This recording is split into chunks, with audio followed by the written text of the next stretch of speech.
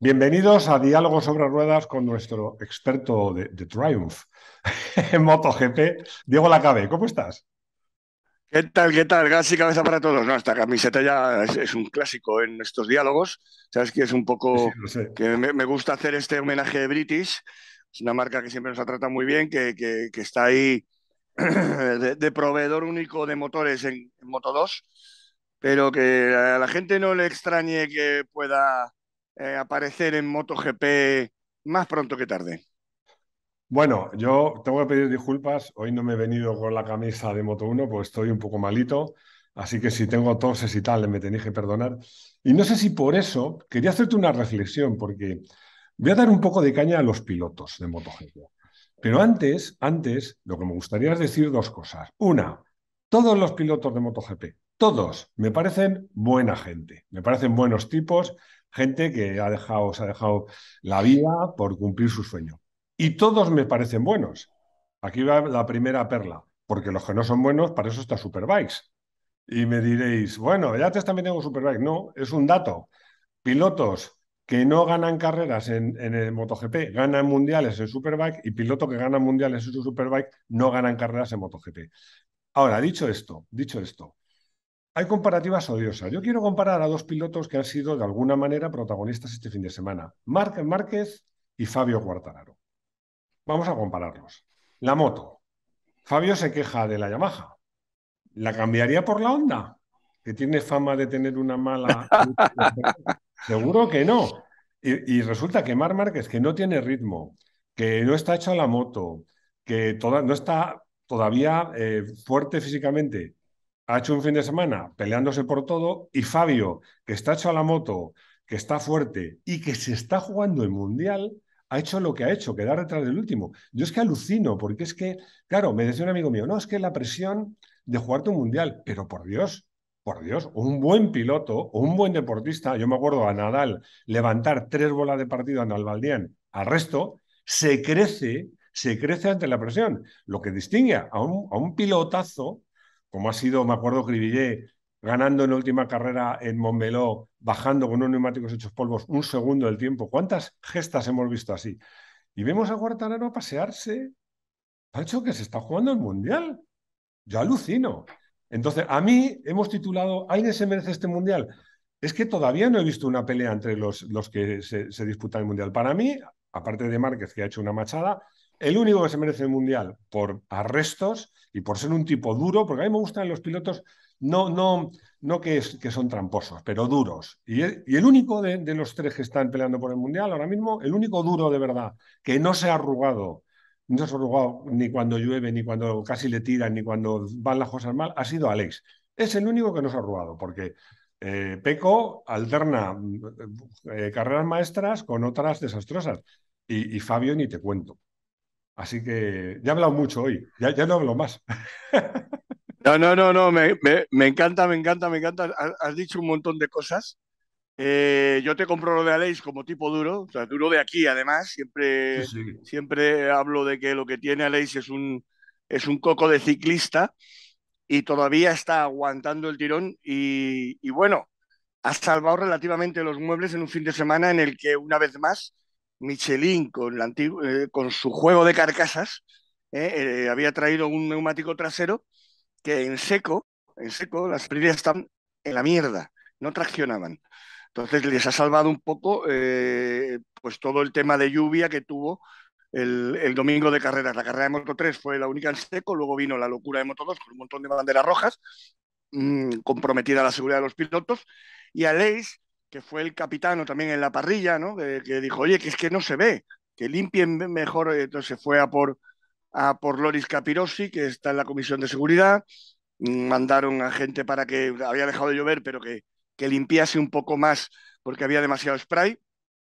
Y Aleix es un tío que sí, mm, porque es que además a esas alturas del año, tú fíjate una cosa, es que, es que estamos eh, con tres contendientes, hay más, ¿eh? matemáticamente puede ganarlo Miller, o sea, primero Enea Bastianini e incluso Miller, ¿vale? Entonces, eh, claro, pero entre estos tres, ¿vale? Fabio todavía líder, a dos puntos Peco Bagnaya ahora después de este último Gran Premio de Tailandia y a 20 puntos está Leis.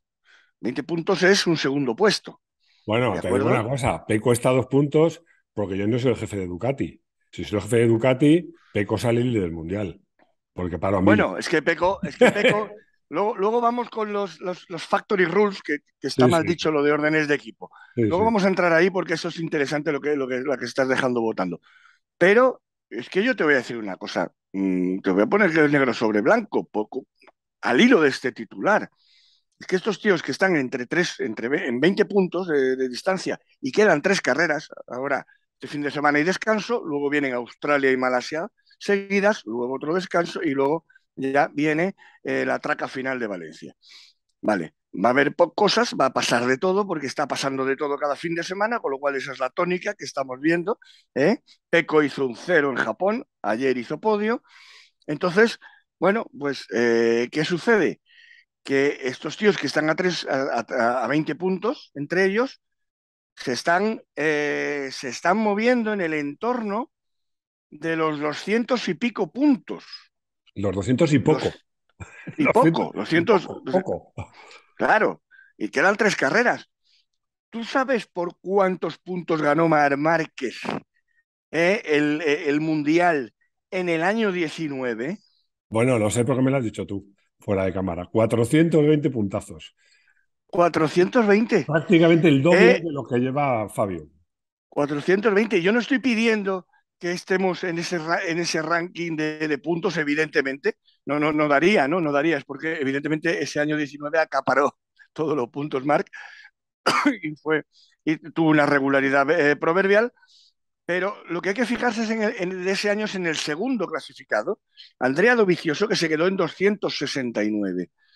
Entonces, eh, bueno, pues eh, Andrea Dovicioso, lo que hizo en el 19, eh, vamos a ver si el campeón de 2022 llega a esa cifra de Andrea Dovicioso. Porque aquí lo que sí que está viendo es cada carrera, una eliminación o un cero de uno de los contendientes al título, por la razón que sea, en el caso de Aleix fue aquel mapping que se equivocó un mecánico en la última ocasión, Peco que salió tal, y en cambio Fabio Quartararo hizo una carrera solvente. Luego Fabio ha hecho el 17, le ha superado Morbidelli eh, de, las Yamahas, le tuvo que dejar pasar Carl Kraslow eh, en, esa parte de atrás de la, de, la, de la batalla, que no salía ni en la tele, y por no salir en la tele en toda la carrera, no quiso salir en la tele en el post.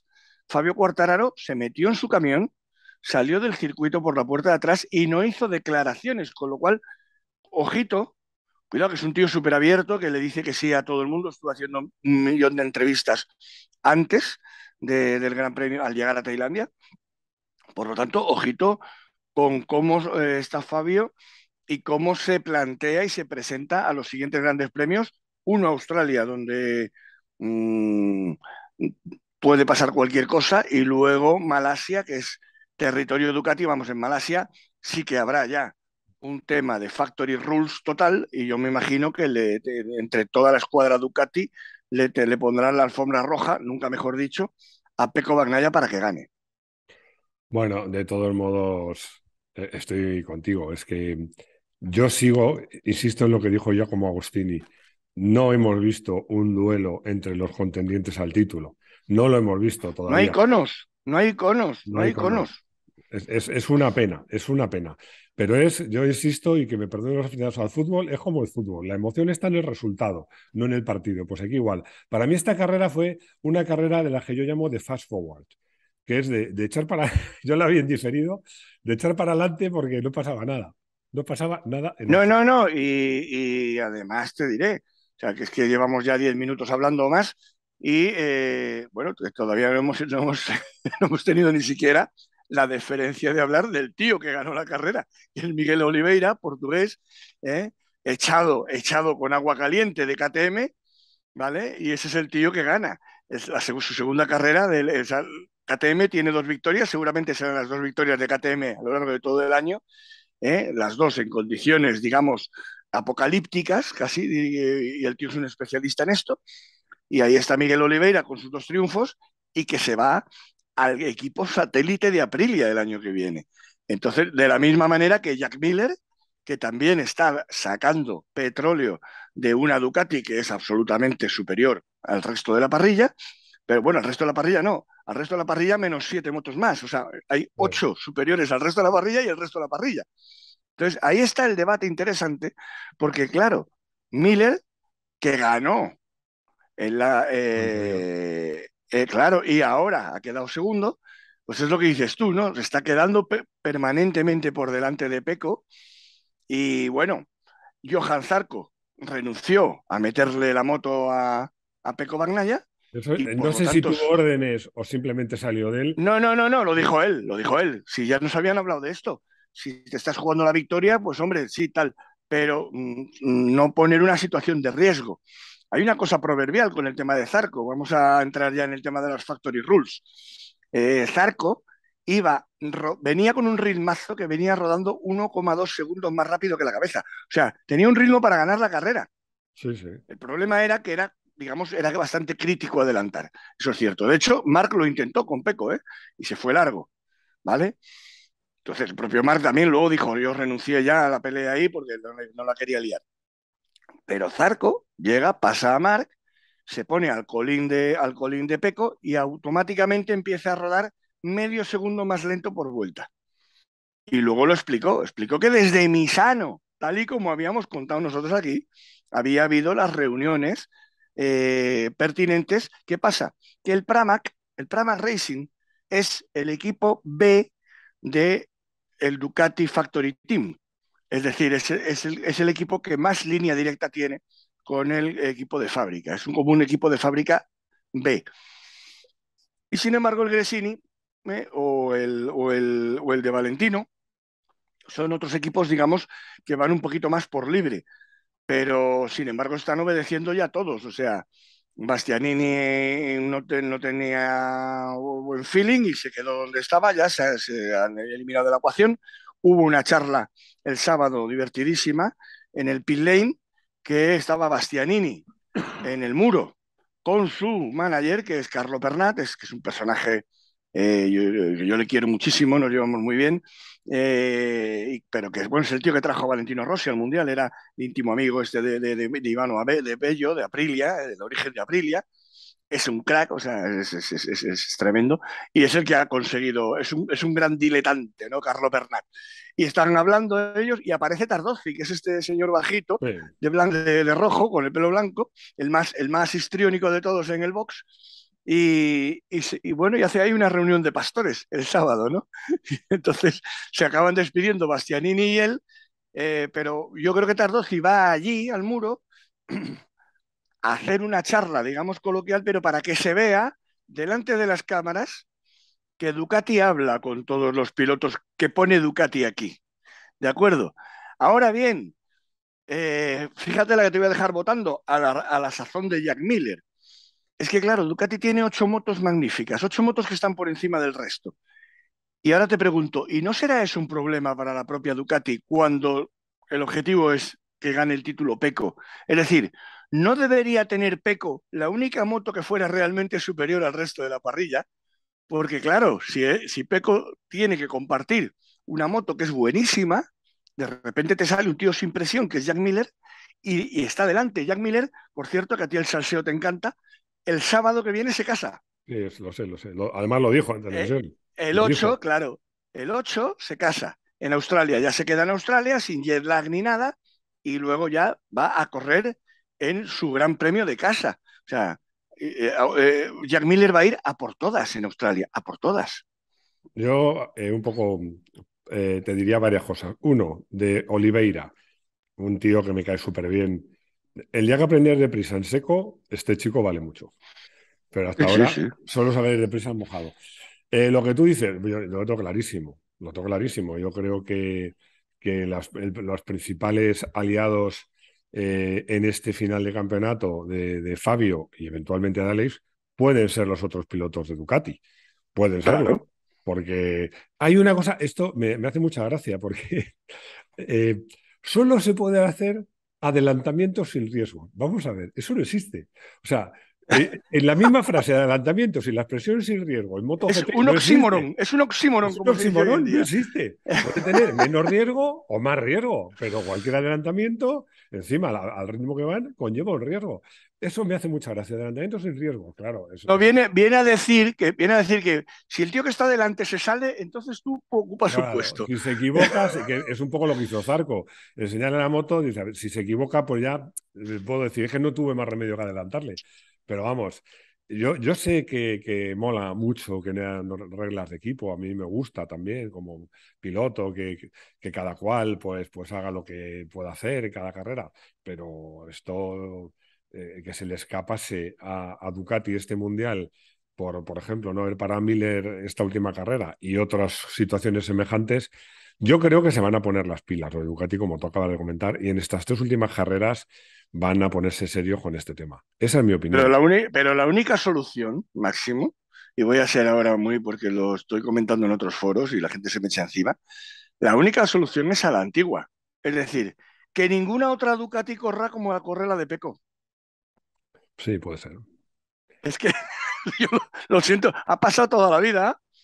Fíjate que Jorge Martín, que vuelve a estar delante, que es y, es un tío Pramac, lo que pasa es que Jorge Martín es un tío que está bastante cabreado con haber sido, digamos, degradado o no elegido mm, para el equipo de fábrica, ya te puedo contar como primicia mm, que Jorge Martín está dejando una puerta, una rendija abierta eh, a irse a otro equipo de fábrica de otra fábrica en el, para el 2024, o sea, ya está negociando para 2024, y como no le deje muy claro su futuro Ducati a partir del inicio de la temporada 2023, ¿eh? mm, Jorge Martín puede perfectamente mm, vestirse de otros colores en el año 24, eh, y Jorge Martín ya está rajando.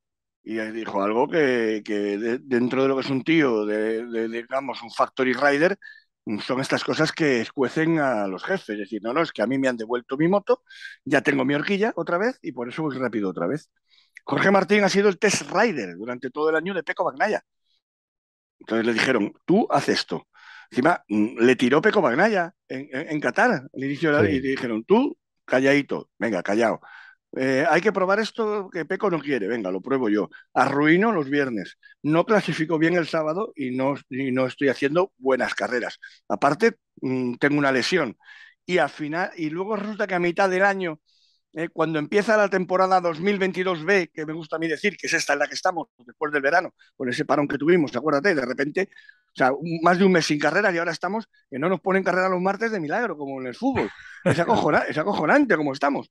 ¿eh? Luego vamos a terminar hablando del calendario, que es otra gran locura. O lo dejamos para el lunes que viene, que va a ser muy interesante el tema calendario.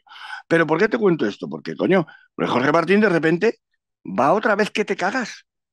Entonces ahí Ducati está equivocándose en el sentido de, no, no, el momento de hacer pruebas para el 23 y que se, que se líen los tres equipos satélites es ahora. Y dejarle la moto puesta a Peco y que Peco, eh, por supuesto, haga lo que tenga que hacer. Pero un Jack Miller que está en KTM el año que viene, ¿eh? Mm, eh, lo que dices tú, y los haters estarán ya escribiéndolo, desde el punto del deporte, ole, qué bien, pero desde el punto de vista de ganar el título de pilotos, que es el único que vale, la chapita de la torre, ¿vale? Porque el de constructores ya lo tienen. ¿Y qué? ¿Quién lo sabe? Ya lo tienen matemáticamente. Ya han ganado el de marcas. ¿Qué? ¿Cuánto vale eso? Nada. ¿Vale? La chapita. Y la única que tiene es la de Casey Stoner, que tienes que coger la torre, le tienes que dar la vuelta así, ¿eh? hasta que tienes que pasar todos los títulos de Mar Márquez, ¿eh? tienes que pasar dos de Valentino Rossi, tienes que pasar, ¿no? Claro, tienes, tienes que pasar los de Jorge Lorenzo, y ah, mira, Stoner, Stoner Ducati, aquí está. Me explico. Eh, ese es el que vale. Y ahora te hago una pregunta que se está haciendo en muchos foros, que a mí me parece muy bestia, pero que es que, eh, que es muy dura la que te voy a preguntar. ¿eh? Viendo ya cómo conocemos que llevamos analizado a Peco Bagnaya ya desde que empezamos diálogos sobre ruedas, o sea, tú compras esto que me están contando mucha gente, decir, como Peco Bagnaya no sea campeón este año, no lo va a volver a ser jamás, no, no va a tener una oportunidad como esta jamás. Bueno, eh, yo soy malo con la bola de cristal, eh, francamente. No, no, pues, pues, pues, pues sácale brillo. espérate que es que te cogió frío. No, año que, viene, ya, yo... año que viene ya está Mar Márquez eh, al 100%. No, yo lo que creo es que el año que viene. espero no equivocarme, que Mar Márquez le va a dar un repaso a todos. Esa es mi opinión. Las Aprilia, las Aprilia van a estar mejor. ¿Eh? ¿Eh? Fabio seguirá estando ahí. Y va a llegar sangre nueva, entre ellos Enea Bastianini, que ya ha demostrado que no tiene ningún complejo con Peco Bagnaia, en Ducati. O sea, como, no gane, Peco, como no gane Peco este año el Mundial. Sí, puede que no lo gane nunca. ahí voy, ahí, esa era la cosa. Te voy a poner otro ejemplo de un piloto que, que, le tengo, porque les tengo simpatía a todos. Mir. Mir ganó un mundial con justicia. No fue un mundial brillante, no es un icono, no es un tío mítico, pero lo ganó con justicia, porque al final yo lo digo, el que al final del campeonato tiene más puntos es el justo ganador. Pero ¿tú crees que Mir va a ganar otro mundial? Yo creo que no, francamente. Es que no, ha vuelto a ganar, es que no, no, ha vuelto a ganar ni una sola carrera más. Claro. Ha ganado un contrato, ha ganado un contrato con Honda. Y yo creo que en el caso de, de Peco Bañaya, pues efectivamente se arriesga.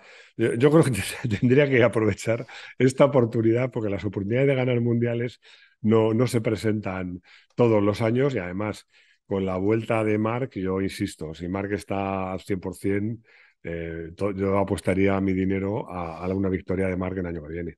Eso, Mira, es, es verdad que fueron 13 carreras nada más, ¿de acuerdo? Pero tú sabes con cuántos puntos ganó Joan Mir el, el, Mundial 2020. Ciento... ¿Eh? Con, ciento, con 171. segundo Morbidelli, ¿eh? Segundo Morbidelli eh, y tercero Rins Morbidelli con, el, con aquello de, de Yamaha abriendo los motores. y, y la gente que valora tanto el título de constructores, pues sí, a Yamaha le quitaron el título de constructores. Ah, también eh, fue la Yamaha, fue la moto que más carreras ganó aquel año. ¿Vale? El año 2020 es el año de la gran deserción. Una vez que desaparece Márquez, que desapareció en la primera carrera y se confirmó en la segunda que no iba a volver a aparecer, el primero que tenía que haber ganado ese título 2020 fue, es un tío que se llamaba Andreado Vicioso. Hombre, eso está claro. ¿Eh? Después, un tío que se llamaba Maverick Viñales, piloto fabricado de Yamaha. El tercero, y fíjate que estoy siendo condescendiente con él, porque tenía que haberlo puesto el primero, era Valentino Rossi, la gran némesis de, de, Mark. Mark desaparece. Aquí está el tío. Aquí está el tío. Que no estaba en Petronas, que estaba en el equipo de fábrica de Yamaha. ¿eh? Y Valentino, que hizo podio en la segunda carrera de Jerez, cuando Mark eh, se tiene que ir el viernes, Valentino ahí se motiva ¿eh? y hace, hace podio, pero claro, gana un tal Fabio Cuartararo con la Petronas. Entonces, claro, ¿Por qué te digo esto? Porque estamos, no estamos en, lo tremendo que fue 2020. A 2020 hay que ponerle en el contexto de la, gran pandemia, ¿vale? De que casi no se celebra ese campeonato, con lo cual eh, pasaba lo que pasaba. Andrea Dovizioso estaba más pendiente de cobrar el total de su sueldo, peleado con Claudio Domenicali, cuando Domenicali decía yo me he puesto el sueldo a la mitad, y a todos los empleados de Borgo Panigale les he bajado un 15%. Dice, dime que te rebajo de tus 7 kilos al año. ¿Eh? y le dijo a Andrea Dovicioso, ni un céntimo. Quiero cobrar mi contrato. ¿De acuerdo? Entonces, mm, eh, eh, eso es lo que se puso Andrea Dovicioso en el año 2020. No estoy diciendo que estemos en la misma situación, pero sí que es verdad que, coño, que mm, sobre todo en el caso de Fabio y, de, y, de, y de Peco, con todo lo que tiene que ver Ducati, es que, Peco, es que Peco y Ducati tenían que ser líderes de este mundial desde Misano. Desde Misano, fíjate lo que te digo. Lo que está claro es que, bueno, por supuesto el año 20 fue lo que fue, pero bueno, se celebró el Mundial, pero ni Mir, ni Fabio en, el 21, ni el que gane este campeonato, salvo que fuera Leis, que tendría más mérito, son vencedores brillantes no son vencedores brillantes, que he dicho, vaya temporada que han hecho, más alucinante, son tíos brillantes, han estado siempre ahí, dando el callo a las duras, a las maduras, no, no. No dan la sensación que son tíos muy blandos y que ante la. como, como está pasando de todo, como está pasando de todo, estas dos próximas carreras, a eh, Australia y Malasia, le encanta a Leis. Son escenarios que le encanta, y por fin va con una moto. O sea, vamos a ver si el equipo está en condiciones y si les pasan cosas a los otros, porque, porque les está pasando cada carrera, ¿vale? Si le pasan cosas a los otros dos contendientes, en dos carreras se puede poner a, Leis a tiro de piedra. y como Valencia vas, como Valencia va a ser una lotería, como lleguemos a Valencia con tres tíos con, posibilidad de ganar el título, ¿eh? y no te digo ya que vamos a ir a Valencia, bien entrado noviembre, noviembre, ¿eh? Es que eh, como se nos meta la gota fría, va a ser una auténtica guerra, va a ser Vietnam.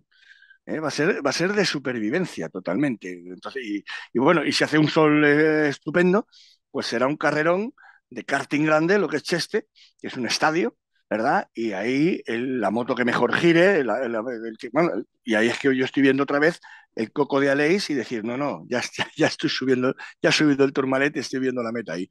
ojito con Aleix, ¿eh? Ojito no, no, yo Aleix no, no, desde luego no le he eliminado de la carrera por el campeonato, porque como tú dices, Aleix, en el fondo, él, salvo el error en Montmeló, que se equivocó por una vuelta, pero él no ha fallado. Él no ha fallado. De todos de los contendientes al campeonato, el único que no ha fallado es él. Entonces, como tú dices, llega a la siguiente carrera y se cae uno de los contendientes. Llega la otra y se cae el otro. Coño, llegan, llegan a Valencia en un pañuelo. Y, No, yo, bueno, creo que. Yo creo que lo que sí tiene pinta de que vaya a suceder es que el mundial se decida en, en eh, perdón, en Cheste. Eso me gusta. Cheste, no, no, no. Tiene toda la y, mi, sueño es que sea entre tres tíos. Eso para mí sería ya puestos a hacer un guion de película. Que no, yo, yo creo que a Cheste, yo creo que a Cheste ya llega, llega mm, forzosamente. Lo que no sé si entre Fabio y Peco o Fabio Peco y, eh, y el propio Aleix. Como encima todavía esté Enea con posibilidades matemáticas, es que, esa es otra, ¿eh? es que también se puede apretar por ahí. O sea, eh, Miller de a escala posiciones y matemáticamente también puede todavía Miller. Entonces, es acojonante. Es acojonante. O sea, como nos pongamos con más de tres tíos en Cheste, claro, eh, y dos de ellos, o sea, y tres de ellos sean ducatistas, pilotos de Ducati, claro, a ver cómo Ducati dice, no, no, tú no puedes correr este fin de semana, no puedes, no puedes quedar delante de Peco. es, que la, cosa es muy bestia, ¿eh? Y se puede dar la situación de que eh, sea la lucha interna entre Ducatis la que le acabe dando el título a una Yamaha o a una Aprilia bueno, en cualquier caso, aquí estaremos nosotros para contarlo, para dar nuestras opiniones. Siempre, insisto, ¿eh? desde el máximo respeto, porque ya me gustaría a mí rodar, vamos, la mitad de la mitad de la mitad de lo rápido que ruedan. O sea, yo tengo claro que son todos buenísimos, pero también tengo claro que nos falta un jefe, nos falta un mito, y yo estoy deseando una temporada 23 con Márquez al 100%.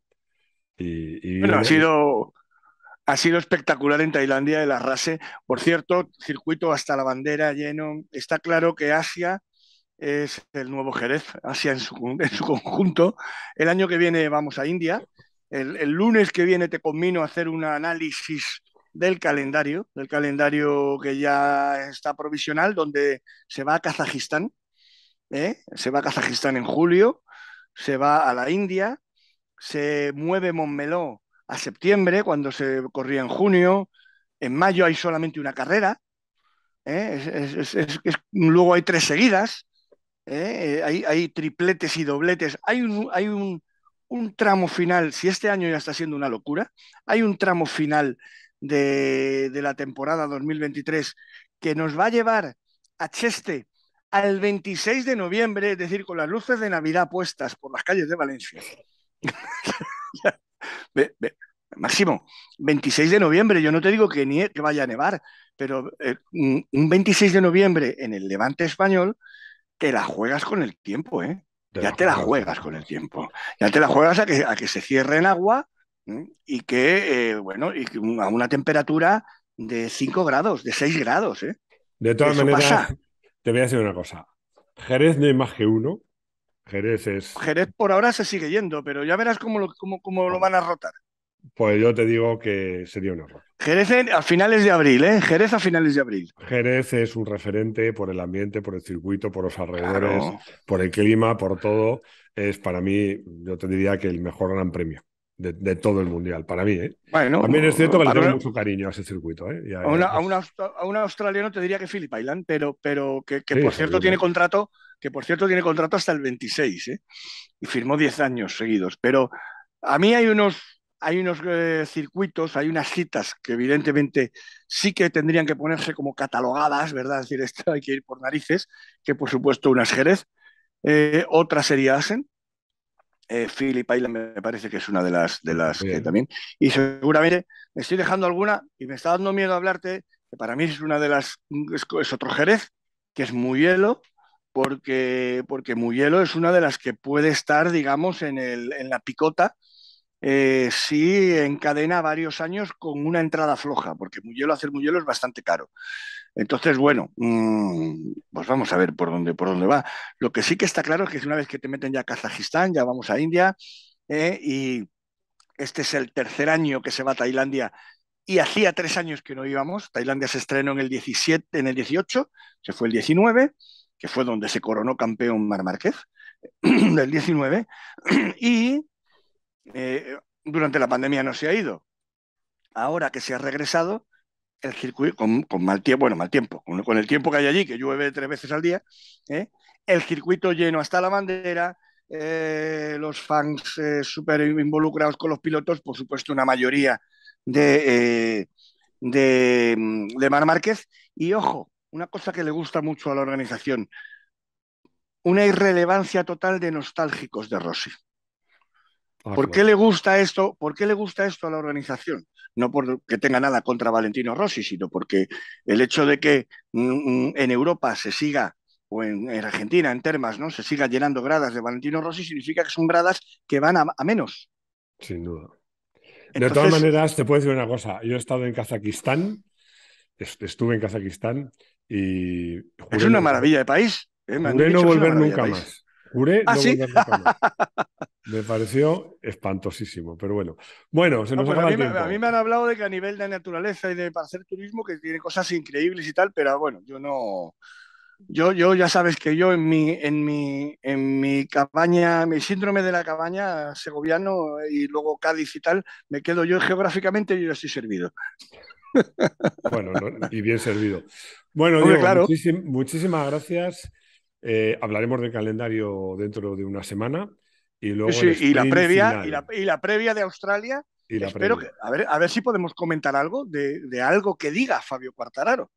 Porque insisto que esto ha sido una cosa que, a falta de tres carreras, que el líder del campeonato se vaya sin hacer declaraciones de circuito es una cosa bastante significativa. ¿eh?